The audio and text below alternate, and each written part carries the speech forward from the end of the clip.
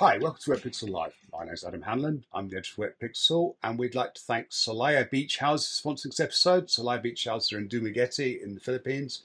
Fantastic black sand destination for macro, and beautiful um, area. So please head on over to Salaya, that's S A L A Y A, beachhouses.com to check out um, the resort and what they offer. Um, I'm joined today by Alex Mustard. Hi, Alex. Hi, Adam. Nice to see you. We caught you caught you slightly napping there. yeah, yeah. No, it's, um, I was just um, checking. I just my phone was flashing. Oh, all right, okay. Um, so we thought today we talked today. I thought we talked today a bit about um, big animals and how we go about photographing and approaching big animals safely, and obviously for them and us. Um, and possibly a good place to start is is is what would you define as a big animal, Alex? What are we talking about here? Oh, well, thanks for that one because it, it's certainly you know the megafauna of the oceans um, are correctly designed by scientists, but the word big animal used by underwater photographers has no strict definition. But I, I think for for ease of use today, I think we're best to talk about it as those larger, you know, charismatic um, species of, of, of, of the underwater world that we maybe need to to go away from our normal diving to encounter.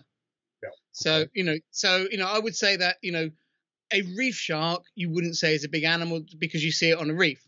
Yep. However, a species that may be like a cetacean or a, a basking shark or a whale shark or maybe a crocodile, those are in the big animal character category because they're not things we typically encounter while doing normal scuba diving. We have yep. to go to specific places and operate in specific ways to have those encounters. So those for me would be my my kind of big animal animals, and they're actually a very diverse group. And I think one of the points I definitely want to make in this is that there is no one size fits all in terms of your approach. Um, and the key advice to get straight into it is find good operators who run their operations with good naturalists who understand these animals and understand how you can have good encounters with them. Yeah. And if you follow their advice relating to that species in that location, you will have good photographic opportunities. And, that's the key to it, really, yeah. is it's about realizing that however much diving you've done, you are not the expert now. You need to find the expert and follow their life, life advice to the letter, and then you will get the good pictures. And I think the thing I've learned doing big animal trips around the world is that you have to relearn each time. Yeah. And what is interesting is how different it can be photographing one whale species to another. And I find that that absolutely fascinating. You know, I'm going to talk about it now, really, but you know, for example, a, a you know humpback whales normally photograph those where say, for example, there's a mother and a calf together in warm yep. tropical waters. That's a, a normal humpback encounter that people have. They go to places where the whales gather to, to, to give birth. Uh, they've got mothers and calves together. The calves are fairly immobile, and so the mother and the calves are hanging around. The calves are often playful. And the way you approach those is you stop the boat quite a distance away from them and slowly work your way towards them underwater so that you can have a nice encounter with them. Yep. To contrast that, if you want to photograph the, the biggest whale in the world, the blue whale, most of the encounters with those are done with the classic crossing the T maneuver with a boat, which is used on a number of species, um, where you find the animals, you go parallel with the animal. So this is the animal, this is the boat. You overtake the animal, the boat then goes around and crosses the T, dropping the divers off or the snorkelers off in the path of the animal and then moves itself out the way and yep. then you hope that the animal then intersects your cross of the T. Um, and that's kind of the maneuver that is used with a, with a, lot of those pieces. So a very different attitude. And with the blue whales, certainly in my experience of, with the blue whales, is you jump off basically a moving boat and you yep. go straight underwater because what the whales don't like is splashing at the surface. You drop down underwater and you hold your breath for as long as you can and you hope that while you're underwater and you're holding your breath, that this whale swims into view and you get the chance to to that it will swim past you. But unlike a humpback whale, which is stationary or potentially even curious, a blue whale will just steam on past. Yeah. Um, sperm whales, on the other hand, we tend to encounter when they're sleeping or resting or, or you know rafting as pods, And there it's a case that you again stop at a, a, quite a distance from them and you don't swim towards them and you hope to and get them curious about you and they might come towards you. So very, very different with the different species. And I think anyone who, you know, what you find is people who've done one of them think all whales are the same. Yeah, and I think, yeah. you know, and, and it's the same across all of them. You know, you certainly don't approach a whale shark the same way you approach a crocodile. Yeah. Um, and I think people often tend to dump the or lump the cetaceans altogether. Um, and you know, so yeah, Sorry. In, in, general, I think uh, general advice is, is, they're very sensitive to disturbance, and disturbance could be the splashing that you mentioned at the surface, and bubbles produce a disturbance that in general seems to upset them. Um, and and you often see this, you know, the, the, particularly the beginning of the trip, you know, first first encounter of the big animal, and and everyone's leaping off the back of the boat trying to get in the water, and that's probably the worst thing you can do. You know, th- these really are the kind of encounters where yes, okay, it can be quite kind of fast and furious getting into the right place. But then once you're in the right place, you slip into the water and slip underwater as as as quietly and as stealthily as you can, because they are very very aware of those types of disturbance. Those are a classic kind of you know that that will will will tend to drive the species away from you, um, and and you know they'll turn away when they notice that kind of disturbance, and that that's a mistake that a lot of people make. I think I think swimming towards animals as well as a huge, you know, on the surface particularly, you know, and, and, and swimming vigorously towards them, you know, that they they they're not going to tolerate that. They they're going to turn away. Generally, they're going to turn and move away. So. And I think if you've done some wildlife photography above water, where wildlife is much more cautious, you tend to have a bit more of a better feel for it. You know, if you want mm. to photograph a, a deer in a field, you don't go through the gate of the field and walk straight at the deer and expect the deer to sit there and wait for you. You know, you take your time, you you you work your way, you know, you use your your your fieldcraft, your sense for that animal to keep mm. that animal relaxed and allow mm. you to close the distance down so that you can mm. get your photos. And I think a similar approach is important here. You know, the, the most important thing though is always to understand clearly from the local naturalists the best way to have this encounter. They will tell you the things that are going to upset the animal and the things that they won't be so bothered about. And I think when you understand those things, I think it makes really big difference. Um, to backtrack a little, I would say that one thing that unites a lot of the big animals is that these are encounters that are made with free diving. It's yeah. not all the time. Um, you know, I, have um, you know things like grey whales and I've even photographed things like false killer whales. I've actually photographed those without going in the water at all and just hanging over the side of the boat. But it, you know, I haven't photographed great whale, grey whales, but grey whale photography is typically done with just you know just your hand in the water. Um, and I've photographed other cetaceans that way as well. And it can be a really great way to to photograph those things. It's a slightly less experience, but you still get that experience of being so close to these animals around. And you know, I remember with the false killer whales, we were in a tiny fiberglass boat and the sound of their whistles just came straight through the hull.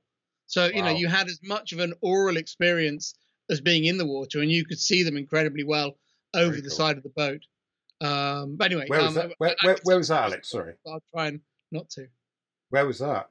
Um, that was in the Indian Ocean. Um, wow. But they're quite common. They're quite common across the Indo-Pacific. I've seen them in Palau. I've seen seen them there as well. Um, and yeah, but just, just uh, and what we found is we went in the water with them a few times, and we got decent encounters. But we noticed that when we weren't in the water, they were coming closer to the boat. So we decided after a few jumps, um, spoke to the naturalist guide, and they said, "Well, you're going to see them if you go in the water, but you might get better pictures if you stay on the boat." And so we decided to do a few passes, doing that same crossing the T maneuver, going alongside them, going ahead, stopping the boat, and it was kind of not a complete T, kind of a half T, um, yeah, yeah. stopping the boat, turning the engines off, and then waiting for them to come towards us. And they were curious about the boat with the engine off, just bobbing there in the water. And yeah, we got really nice encounters. Uh, mm. And they came and got much better photos without going in the water. Um, but yeah, that's the rule. Is it's you know is you've got to follow that local advice and treat every species differently, and also appreciate that the individual species within them you will have individuals that for that day that moment are curious it may be the way they feel. It may be the way you've made them feel by the way you have behaved. Yep. And then there'll be days when that same species just isn't in the mood, and you have to learn to say that animal's not in the mood. We're better yep. to go and look for another individual. Yeah, yeah. Um, and I think that's a big part of it as well. So I I uh, I chat a lot with Tony Wu. Uh, Tony Mm. has done a lot of cetacean photography, particularly. Yeah, particularly. I Um, mean, you know, better than almost any, you know, than, than anyone who's ever lived, I would think. And and, one of the things that Tony does, and this is, I mean, we all need going to set is is that Tony spends a lot of time working out, um, primarily to increase his breath hold times because he's found that in order to get photographs, particularly of humpbacks, but a lot of the species that he photographs, it's all done on, on breath hold, as you mentioned earlier, all done freediving.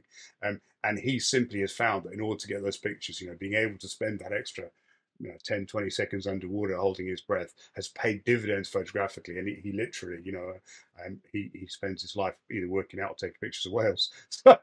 So, um, so you know, and that, that I think is, an, is a, you know, obviously for a dedication to the subject, but that, that again, it may be worth if you're planning did, a, I remember Tony actually, he posted this amazingly funny um, montage of him. It was like a montage from an 80s movie with him Yeah. working out to uh, to music. That was really uh, training Yeah. for his next whale trip. I think there was also one that did the rounds of him being sick in between his reps. he was Yeah. pushing himself that hard. So it's not necessary to be quite as obsessive as that, but but certainly. But if um, you are yeah. going to be, make sure you record yourself so we can all yeah, enjoy it. that's right. Yeah, yeah. We'll we'll feature it on Wetpixel Live. Um, But- but um, your point is really important is that a lot of these big animal encounters are done freediving and having good freediving skills. You don't need to be a world record holder, but getting the most out of yourself as a freediver is really important. So, a little bit of training, a little bit of understanding about freediving, and a little bit of the right equipment uh, can make a really big difference. Hmm. Um, you know, for example, a pair of, of freediving fins can be a really good addition. You don't necessarily need to have a freediving suit because often a lot of these are warmer water adventures that people go on. So actually, you're actually going to be more comfortable during the day in just a skin or something like that. Nice dive skin, but good freediving fins can work really well. From my own experience, the coolest looking freediving fins are the super stiff um, carbon fiber ones. The best ones as a photographer are not those hardcore ones. If you're as fit as Tony, probably you can use the really hardcore ones because you're really trained and used to doing them. If you dip in and out of this type of photography, you're much better with softer freediving fins, which are actually also designed to work better at the surface as well. If you go through a catalog of, of freediving fins, you'll see ones going, these are, you know, super stiff, really good for deep diving. These ones are designed for you to spend a day in the water at the surface, where you're swimming a lot at the surface and occasionally diving down. Those softer fins generally, I think, fit much better. Um, it hurts me to say so, but generally spearfishing fins, um, which are designed for diving down and chasing fish around underwater, are actually a much better option than than pure freediving fins. I mean, Yeah. Freedivers, when they go for records, actually don't fin very much. You know, they do two or three powerful kicks, and then they just let the let the, their buoyancy carry them down. They stop finning, um, and that that and makes they're the ones using the cool carbon blades. yeah, and actually it's us guys, and it's I I would say like with with the freediving fins I own, they've all been pretty much the the least flashy one in the range because Yeah. they're actually the everyday one, um, and they're they're the best for this. Uh, yeah. Yeah, yeah.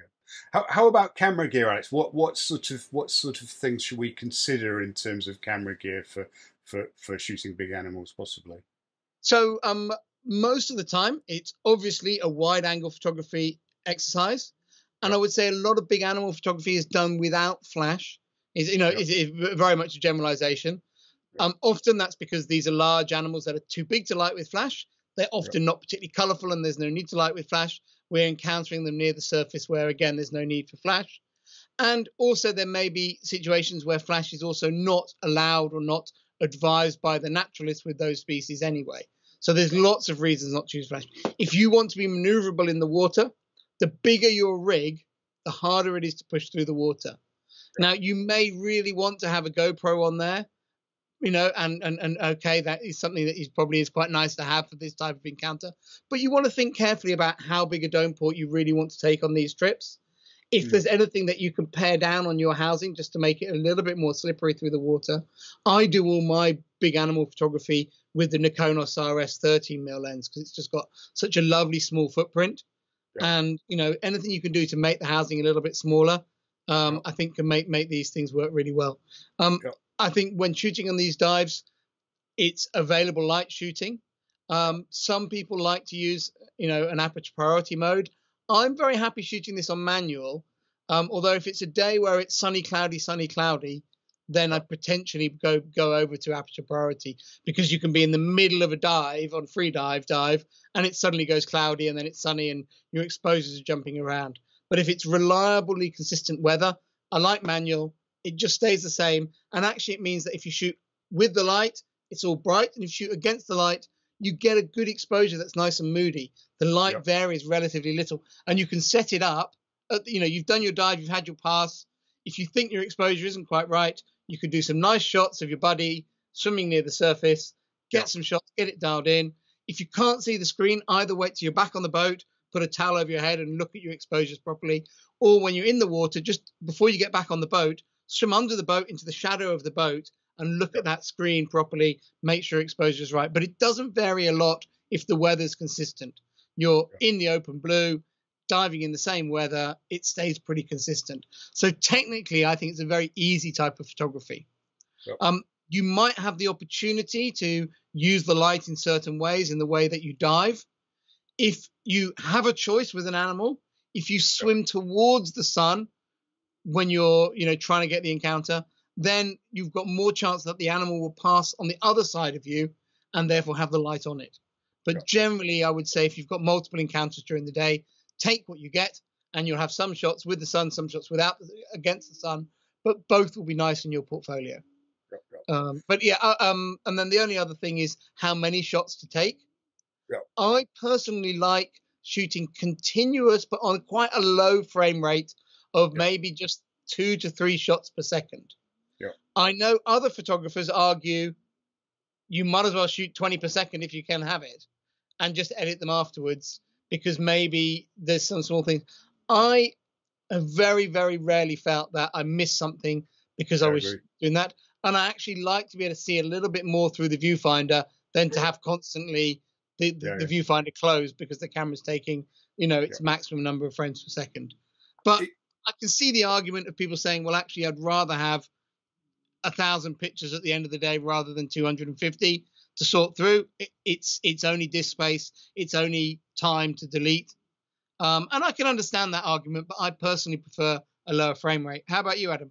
No, I'm the same. I, I work at work at continuous slow, which I think is normally about three frames a second, and and that, that's fast enough. You know, I we're not again the thing about big animals is they're actually not moving that quickly you know there's not so so you know there's not, not going to be great change between the frames not, no there's not you look at three frames a second and it's not and i, I don't really see a need to go any they're faster. almost the same anyway aren't they if you shoot yeah. faster than that yes you can shoot more but the shots are all basically the same another piece of advice that that and this is very um, brand and, and, and camera model specific, but if you have the option of a camera that does a good job of shooting in live view, consider using it. It's quite a good tool for this um, type of shooting. And unfortunately, I'm a Nikon user, so I, I, I don't really use it. But certainly, other camera brands do a much better job in live view, and obviously some of the mirrorless cameras too.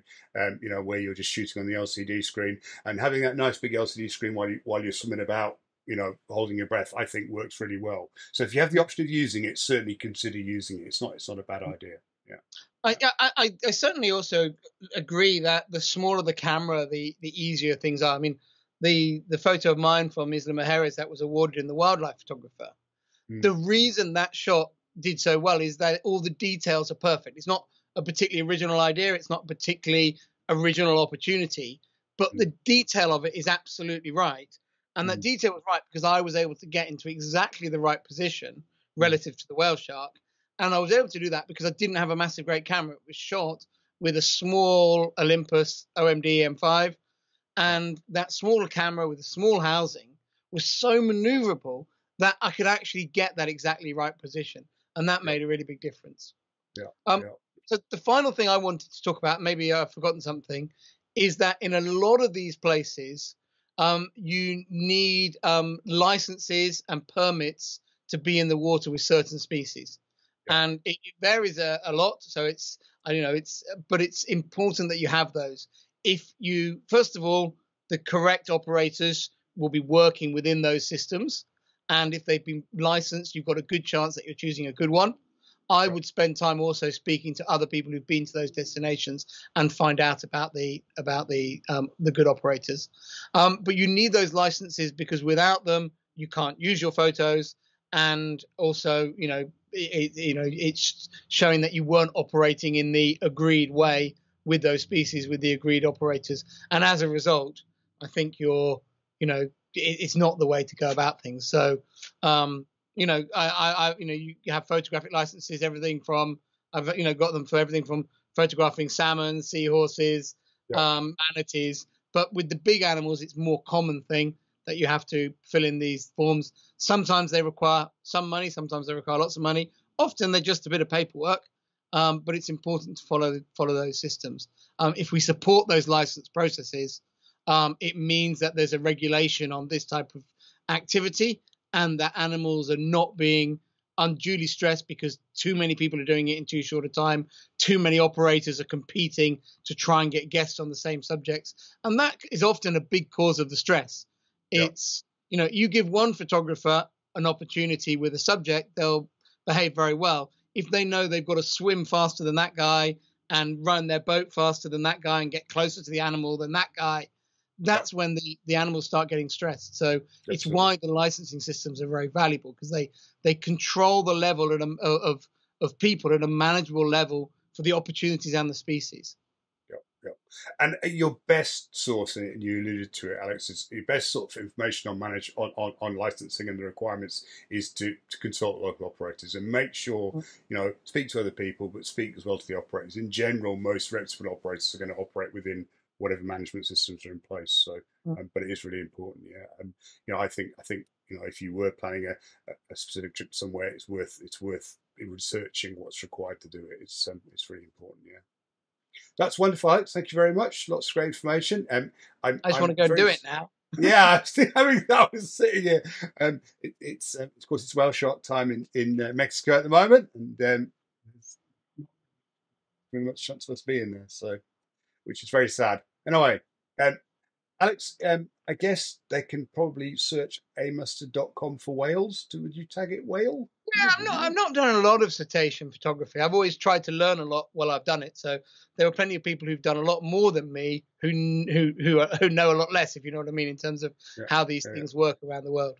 Um, but yeah, yeah, um, I, I, would say yeah, or, or, look on Instagram. I share the big animal shots quite a bit. I know for for Earth Day, I shared some whales and whale shark pictures on Instagram. Alex Mustard one, good place to follow me. Great. Okay, thank you very much, Alex. Um, and once again, we'd like to thank our sponsor for this episode, Salaya Beach Houses. Thank you very much for your support. I'd like to thank you all for watching. Please feel free to add any comments or to ring the bell to get notified when we produce episodes in future and to drop a like if you enjoyed it. Thank you very much. I look forward to seeing you soon.